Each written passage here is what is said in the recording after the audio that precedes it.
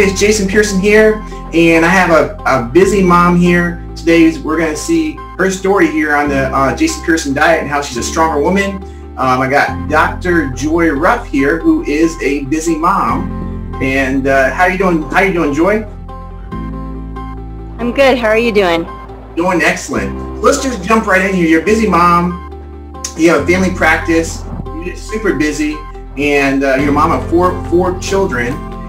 And um, what's your backstory? Like, what's your what's your history? Tell us about a little bit about yourself, and also your external um, struggles you had and internal struggles you had before you um, came to Jason Pearson Diet. Okay, so um, like you said, I'm a, a, mom of four kids. Um, I had the first two in med school and one in residency, and then the and then the last um, outside of once I finished all the training. Um, and medical education is grueling. The hours are long. The um, the food is not the best.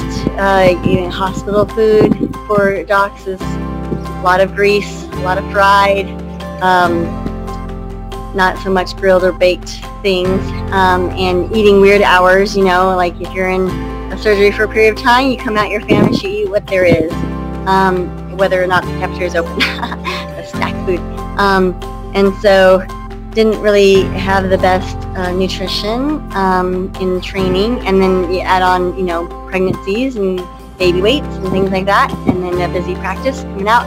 Um, in in the past, you know, I had done curves back in um, 2000s, um, and it worked, um, but that was just after my first kid, and then really after after him and losing the weight for him, it just kind of added on since then. I've tried some other things. I've tried, you know, apps and I've tried, you know, calorie counting and being a physician, I know what nutrition is good and stuff, but um, just sometimes I just need someone to tell me what to do when and how to prep it and then I can like do a massive amount of like meal prep in advance to prepare for my busy life. And so meal prepping is like the key to my success for sure. Um, and so I had um,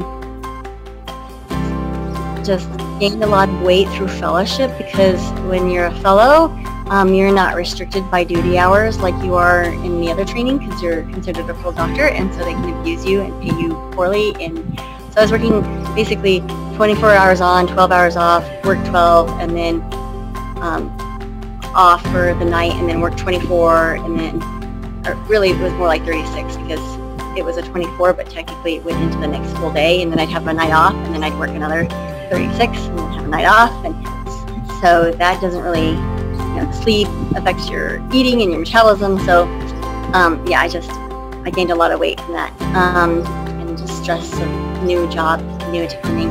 Um, so um, that was like the external struggles. It's just time.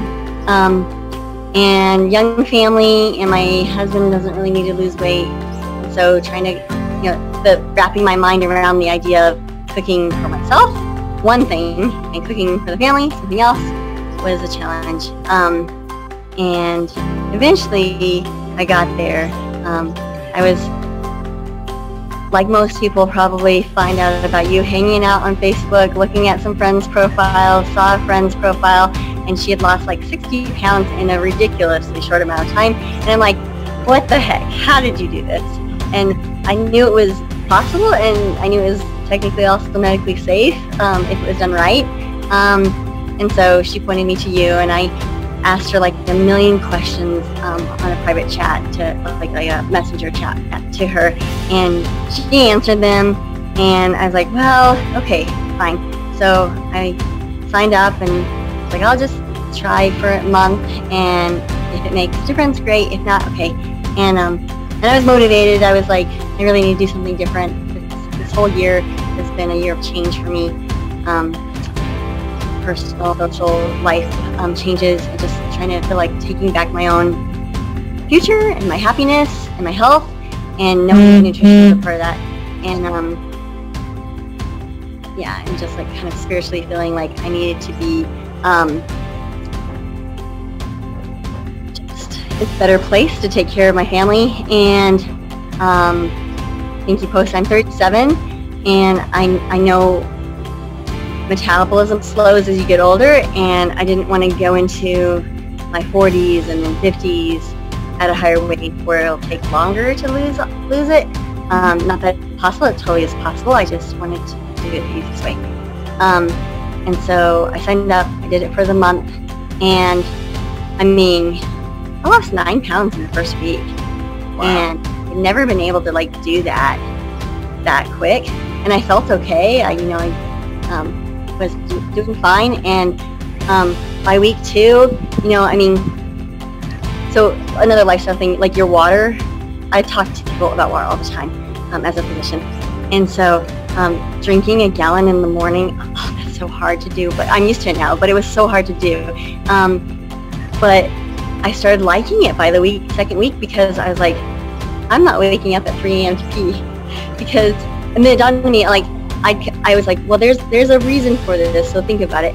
And so I realized that I had been going through the day and dehydrating myself because I was too busy to drink, you know, quote unquote, um, water, and then coming home thirsty at four or five, and drinking a lot of water in the evening, and then, then you have to pee at three in the morning. That's what happens. So, and so, turning that on the head and drinking in the morning, um, most of the, I wasn't coming home thirsty, and then I wasn't needing to drink that much, and you know, I'm like, that's really not like that. So yeah, I should have my water bottle out. Um, Absolutely. So what's um? So you're on the program here at that time. You're two weeks in, and um, and either at that point or what point did you have like maybe an epiphany that you experienced and like aha like this is this is gonna work this is working I like or whatever whatever the epiphany you might have had I don't know what it might be. Um. The aha moment. I think there were a couple different times. Um, one when when my clothes started getting really loose and all of my coworkers were noticing like a big difference in how I looked. Um, and I was close to my goal, but not quite there. But I, I mean, you can you can see my collarbones now. You can see, you know, some of my neck. You know, my my face is narrower than what it was, um, and especially around like my legs and um, arms and stuff. And they were they were commenting a lot. Um, I think probably two of the biggest aha moments was um, I went and saw my aunt and uncle, and I, I had lived with them when I was like in my 20s, like 21, 20, 21, before I got married. Um, and so I lived with them in their house, and um, I came to my uncle's 75th birthday party, surprise party. My aunt comes up to me, and she gives me the, the biggest hug ever, and she pinches me and she says, You're as skinny as you were when you lived with us. I love it. And I was like, Yeah, that's a nice moment. Um, so the compliments and that sort of thing definitely was an aha moment. Um, but then um, I uh, get kind of some nicer clothes from a friend who sells them um, through this online kind of shop anyway. So I, I, I went um, over to her show, and I was like, well, I don't really know what size pants I am anymore. Um, and so she looked at me, and she's really good at knowing people's sizes by looking at them. And she's like, here, try these on. And I tried them on, and then I took them off, and, and she was like, ah, those look great on you. You should get them. I took them off, and, and they were a size I've never worn before, ever. Wow. And um, yeah, they, they were a two. I've never been a two. Wow. Um, and they're they're kind of bigger for a two, but they you know I've some like a two or a four. Like I've never been that size ever in my life, and um, so that felt really good. So those those would be the, my hoc moments is being able to, and I, as you know, like today I'm selling my old clothes at a garage sale, so getting some new stuff. So that's nice. It's nice to feel you know strong and fit. Absolutely. And so along the way, along the program, uh, during these uh, two months, you lost all this weight. Um, do you have any um, um, conflicts you might experience or struggles along the way at all? Yeah, so I'm actually towards the end of phase two, and it was initially pretty easy to incorporate some of the exercises. I would start doing them during my lunch break, um, and that worked out pretty good. I think one of the struggles is realizing like I've lost all this body fat, so now I'm cold so much more often. So adjusting, good thing I'm changing my wardrobe because I need more jackets because I'm freezing more often in the office. Yeah. Um, but uh, there have been times where like I know we're supposed to exercise. Here's my secret: I don't always exercise six days a week. Sometimes I miss more than one day because it's just busy mom life, you know. So trying to figure out like schedule and how to make that work. I finally figured out on work days I wake up extra early. Um, it's hot here in the summer in Colorado, so um, I take my dog. He's I'm looking at my dog here. Um, we go for a run in the morning. We do the morning run, the pre-run and the run, and then the post-run workout. And then I pack. I um, try and pack up my lunch the night before, so I just grab everything for snacks and lunch for work. And then um, I have my weights at work, so I do the weights and the um, those type of exercises at lunchtime. So it's nice because I've actually figured out like doing the run in the morning warms me up. It helps with my Raynaud's. I don't feel so cold at work. Um, so that having that kind of routine helps. I'm still working out the weekend routine a little bit, but I'm figuring out mostly just get it done in the morning, you know, and then you'll feel better about the day. So absolutely, yeah, get, I, I agree. Getting it done in the morning time, then it's like done. Don't have to worry about it for the rest of the day. That's a great idea to bring bring your weights to you and, do, and use them on your lunch break at work. So that's great. Um, and by the way, that's phase two. She was talking about after she lost all the weight. Um, then we went to phase two, where we maintain adjust body fat percentage um, and start some exercise and start eating some more, even more better foods than phase one. Um, tell me here, uh, Dr. Joy, what um, what's what's the result that you what, what's the result that you achieved under the program? I think you lost how much weight did you lose? Uh, Thirty pounds. Thirty pounds. Thirty pounds. Um, uh, did you get more energy? Uh, did, you, did you get more energy on the on the program than you had before, or how did that all work? Or any, any yeah. yeah. Um, I think the the biggest thing is I sleep excellent. Good. I was not a good sleeper before. I I sleep very well. I fall asleep, hit my head to the pillow. I'm asleep pretty quick, and I'm dead to the world. And then I wake up, my alarm goes off, and I'm like, huh, that's nice. I like that. I'm not, you know, like tossing and turning and, you know, like getting uncomfortable. Um, and then the other thing is, I mean, like I said, I'm, I'm a doctor, but I'm also a mom, and I've given birth to a lot of kids, and kids push things out of place like bones and ribs. Ribs are my biggest problem. Um, and so I would have a, and, and stress, right? Like you put your stress right, well, I put my stress right here in my neck and my shoulders. Um, and so I was constantly going to um, get uh, osteopathic manipulation therapy um, and getting adjusted on my neck and my muscles and trying to you know, not have back pain, upper back, lower back, that sort of thing. Um, I haven't been adjusted in four months. Wow. Um, and I don't need to. Um, I'm not achy. I'm not sore. Things are, aren't out of place. I've got good range of motion. You know, I'm not, you know, and that's helping the sleep too. Um, so, and I, I feel like phase two, the changes are more subtle. You know, when, when you drop 30 pounds in, you know, two months, it's obvious to everybody, right? Yeah. But when you like say, look, can you see there's like some lines of muscle in my arm? Like that's slower. You yeah. know, um, the change, the, the, how it's, whether it's obvious or not, is slower. Um, still relatively fast because I'm like skin catch up. You need to shrink, but um, it's it's nice for me to notice that like yeah, I, am getting muscles, I'm getting strong, and um, just with you know like I've got an older brother and he's bad posture and stuff like that. Like now I'm like more aware of my posture and I'm sitting better and you know a lot of things. But I think my favorite exercise is the rows. Absolutely. The rows strengthen your back and balance out your core and that's what I that's what I need is to get rid of back pain is to strengthen the back and balance out the core and keep my shoulders in the right spot. Absolutely. That's awesome. That's awesome. So um, few more things here. Um, did you experience any personal transfer transformation along the way also?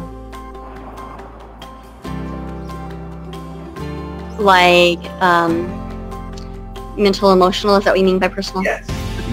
Um, yeah, I mean, I I feel better about myself. I like how I look. I feel more confident in my appearance and in interacting with people. I don't feel like, you know, there's always when you when you're unhappy with how you look or or who your mental image of yourself is doesn't match your actual mirror, what you see in the mirror. Um, you know, sometimes you'll like walk by the mirror and you'll be like surprised. I was like, oh, I forgot I looked like that. You know. Um, now I walk by the mirror or or whatnot, and I'm like, yep, that's how I look. That's how I always thought. That's how I project myself in my mind. And so having that like lack of dissidence, you know, lack of like that harmony of what I perceive of myself and what I um, what other people see is Mm-hmm. nice um, and mm, very healing. If that makes sense. Absolutely, absolutely. Um, one more thing here too, um, and you you read the uh, Stronger Woman Manifesto. Uh, what do you think about that? I think it's good. I think it's it's important to empower people to believe in themselves and to believe that they can change. Um, I mean, I'm a family medicine doctor. Most of what I do is not measured in like, hey, I surgery you and you are healed. It's more of like, I've encouraged what you knew was healthy for yourself um, to make good choices for yourself and to realize that how you take care of your body even if it needs medication to be added to it, um, makes a difference. And so it's a lot of like motivational interviewing and encouraging people to, you know, feel empowered. And that's kind of what the Stronger Woman Manifesto was. was Absolutely, what I know. absolutely. Um, last thing is, uh, for anybody watching this this uh, this video right now, if they're wondering like, um, they're on the fence about joining the diet, if this will work for them, if they're a busy mom, or however many children they might have, or if they have a busy career, or just all this stuff, and um, will they actually lose weight? Will they start feeling better? Uh, what would you and what would you tell that person right now? You just gotta jump in and give it a try. Um, I mean, like I said, you know, I'm a busy mom and a full-time family medicine doctor, and um, I mean, I still take the call, I still deliver babies, I still um, do some operations. I mean, I'm a busy person, but it's like you just have to make that decision for yourself, and when you're ready to do that, then do it, and you'll it will work. Um, and the biggest thing that makes the difference is, you know, like when you get a little over a week, you get 10 days worth of food menu-wise sent to your email. Just pick a day, do your grocery shopping, come home, prep it all, and then you're good for the week, you know? And so like just kind of, it, it takes some intentional planning and that's what life is about, is being intentional with the choices that you make. So not too, it's not too hard. And then the, day to day, it's just, okay, grab that, grab that, throw that in the bag and you're off to go, you know? Not extra work.